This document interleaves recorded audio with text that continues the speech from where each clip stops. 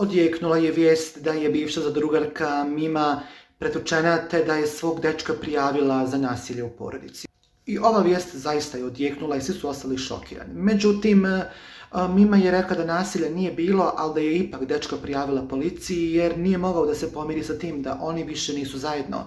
Pa je isto tako ona se oglasila za portali i progovorila šta je to tačno se dogodilo i šta je to u istinu i bilo i šta se sve izdešavalo. Ne mogu da vas slažem kad ste već saznali istina i da sam prijavila bivšeg dečka, nisam više mogla da trpim torturu. Jednostavno dečko ne može da se pomiri sa tim da više nismo zajedno. Govori mi samo ti si moja ili ničija.